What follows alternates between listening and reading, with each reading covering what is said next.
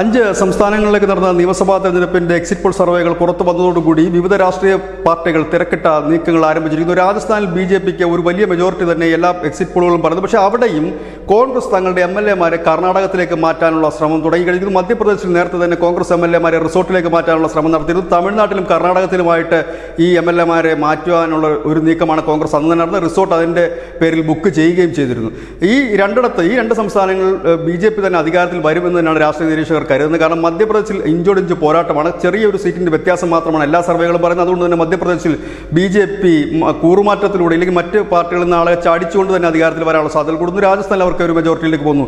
ഇവിടെ നിർണായകമായ മറ്റൊരു സംസ്ഥാനം ഛത്തീസ്ഗഡാണ്. അവിടെയും വലിയ സീറ്റ് വ്യത്യാസം സംഭവിക്കുന്നില്ല. അവിടെ എന്ത് സംഭവിക്കുമെന്ന് രാഷ്ട്രീയ നിരീക്ഷ ഉറ്റുനോക്കുന്നു.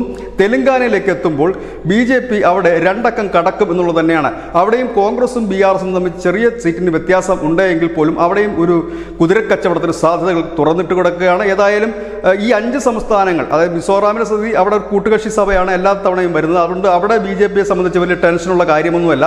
ഒരു സീറ്റ് ഉള്ളപ്പോൾ അവർ ഭരിച്ചിട്ടുണ്ട്. ഇത്തവണയും ഒരു സീറ്റിന് മുകളിൽ പോകാനുള്ള സാധ്യതകൾ കുറവാണ്. പകരം അവർ ഒരു മുന്നണിയായിട്ടാണ് അവിടെ ഭരിക്കാറ്. വടക്കിഴക്കൻ സംസ്ഥാനങ്ങൾക്ക് കേന്ദ്രം ഭരിക്കുന്നത് ആരാണോ അവരോടൊപ്പം നിൽക്കുന്ന ഒരു രീതിയാണ് കണ്ടുവരുന്നത്. ഏതായാലും അഞ്ച് സംസ്ഥാനങ്ങളും കാവിയിലേക്ക് പോകുമോ എന്നുള്ളതാണ്. അതിൽ ഛത്തീസ്ഗഡും തെലങ്കാനയും മാത്രമാണ് പ്രതിപക്ഷത്തിന് അല്പം കൂടി ഉറപ്പുള്ള സ്ഥലങ്ങൾ. കാരണം ഛത്തീസ്ഗഡിൽ കോൺഗ്രസ് വരുമെന്ന് കോൺഗ്രസ് കരുതുന്നു.